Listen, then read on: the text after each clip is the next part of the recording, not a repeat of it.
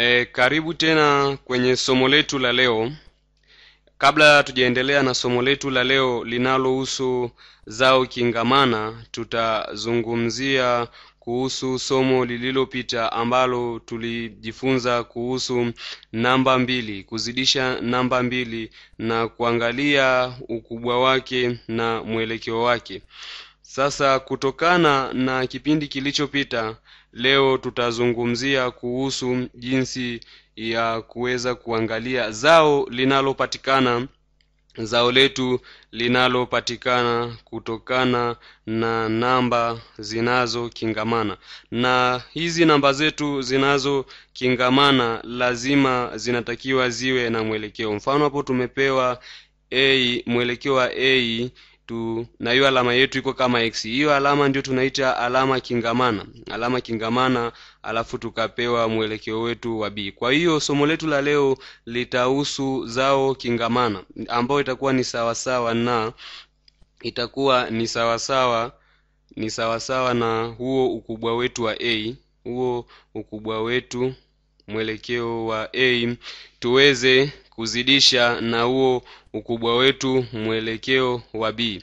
Alafu vile vile tutazidisha na saini ya pembe thita tutazidisha na saini ya pembe thita kwa hiyo mmeona e, tofauti yetu hapo kuhusu zao kingamana na kuzidisha namba mbili zao katika namba mbili. Na vile vile hapa tofauti nyingine tutazidisha na hiyo n. Hiyo n ina maana ni mwelekeo ni mwelekeo wa hilo zao letu kingamano. Kwa hiyo hiyo nini? Hiyo eni ni mwelekeo. Kwa hiyo mmeona tofauti ni mwelekeo wa a mwelekeo wa a na b. Kwa hiyo hiyo eni ni namba ya mwelekeo. Vile vile hiyo alama yetu iko kama x hiyo ndiyo kingamana hiyo ndiyo kingamana na hiyo eni nikawambia inakuwa ni herufi ambayo kwamba inaonyesha nini? Mwelekeo wa nini wa a ukubwa wa a na ukubwa wa b. Sasa basi vile vile tulijifunza kuhusu ni jinsi gani basi ya kuweza kutafuta e, hiyo zao kingamano. Hiyo zao kingamana.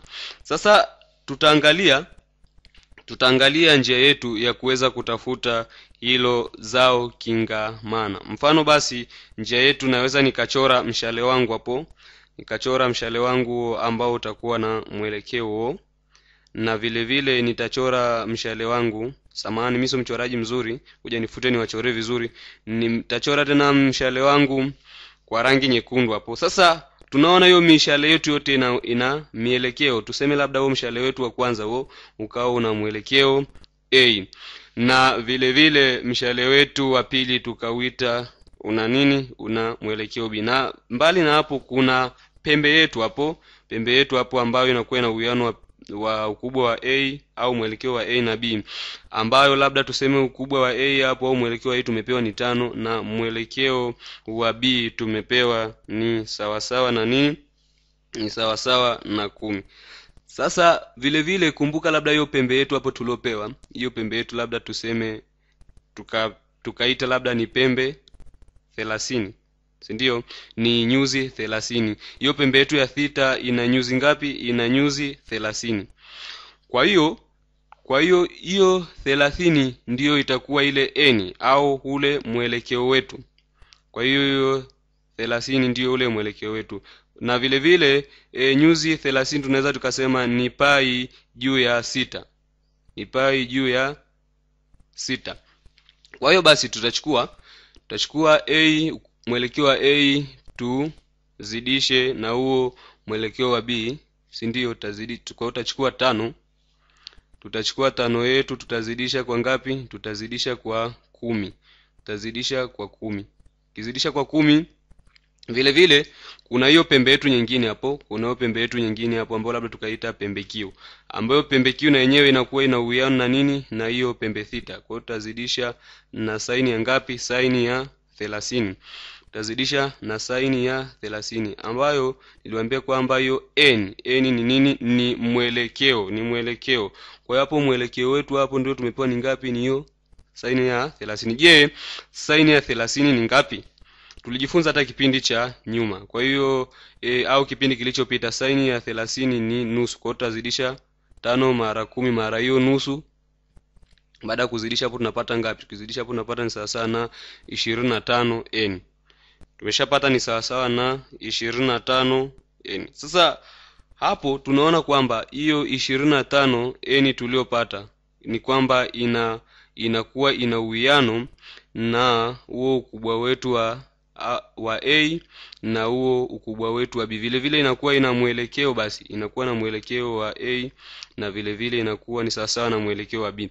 Na vile vile basi hiyo ishirini na tano n tulioipata inakuwa ina uwiano inakuwa ina uwiano na hiyo pembe yetu hapo tulioichora ambayo ni pembe kiu na vile vile basi hapa tunazungumzia e, ukubwa wa vitu viwili. Mfano labda ingekuwa ni ukubwa wa vitu vitatu tungeona kwamba e, ingeenda chini. Mshale mwingine ungeenda chini. Sasa mfano niwachorea hapo nimewachorea duara na hiyo x.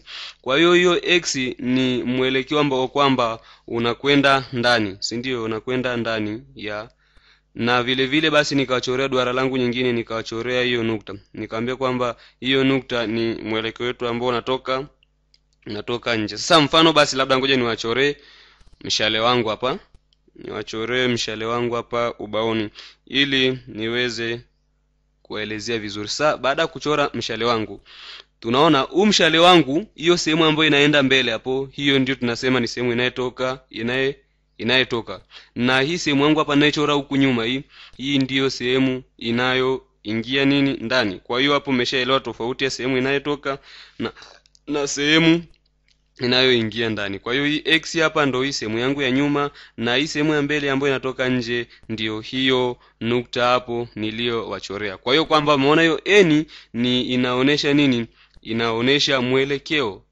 N hiyo ni inaonyesha mwelekeo wa a au mwelekeo wa b katika mlinganyo wetu hapo tuliouandika ubaoni mbali na hapo tunaona kama ningekuwa anazungumzia ukubwa wa vitu vitatu e, kwenye hiyo pembe yetu hiyo ya kiu ningechora mshale wangu mwingine ambao ungeelekea chini. Lakini kumbuka hapa nazungumzia ukubwa wa vitu viwili. Sasa ngoja basi niweze kuzungumzia ukubwa wa vitu vitatu ili muweze kunielewa nini ninachozungumzia.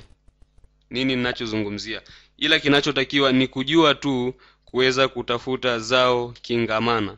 Zao kingamana ni tofauti kidogo na kipindi kilichopita tulivyojifunza kuzidisha namba mbili kuzidisha zao la namba mbili. Sasa mfano basi katika zao kingamana e, labda nikachora kidole changu samani nikachora mkono wangu nikachora mkono wangu kachora mkono wangu. Sasa hicho kidole mfano labda niseme hicho kidole changu hicho cha kwanza hicho hicho kidole cha kwanza kikubwa hicho ambacho kinaonesha juu. Kwa hiyo hicho kidole changu hicho kidole changu ndio, ndio kitakuwa kinaonesha nini? Kinaonesha mwelekeo. Kwa hiyo kidole changu ndio kitakuwa kinaonesha nini? Kinaonesha mwelekeo. Na hapo labda nazungumzia ukubwa wa vitu vitatu. Na hicho kidole changu chengine hapo tunaona kwamba kitakuwa kinaonesha uwiano kitakuwa kinaonesha uwiano uliopo kati ya huo mwelekeo a na mwelekeo b. Na vile vile hicho kidole chetu gumba kitakuwa kinaelekea chini. Na hicho kidole gumba chetu kinavyokuwa kinaelekea chini ndiyo nitakuwa nazungumzia ukubwa wa vitu vitatu. Kwa hiyo hapo kwenye hiyo pembe yetu hapo ndio tutaweka nini? Tutaweka hiyo alama yetu ya x au kingamana kwa hiyo mpaka hapo mmeshanielewa jinsi nilivyokuwa nawaelezea kuhusiana na mwelekeo wa ndani na mwelekeo wa nje. Mfano basi nikachora nikachorea hapo mshale wangu unaenda juu na mshale wangu unaenda chini. Mshale wangu mwekundu unaenda upande wa juu na huo wa rangi ya njano unakwenda upande wa chini. Na vile vile hapo katikati nikachora tena mshale wangu nikachora tena mshale wangu ambao huo unaonyesha nini? Mwelekeo. Kwa hiyo huo ndio ukubwa wa vitu vitatu. Nikizungumzia ukubwa wa vitu vitatu lazima kuwe kuna nini kuna mishale mitatu. Kwa hiyo hapo mmeshaelewa nini nilikuwa ninazungumzia kuhusu zao kingamana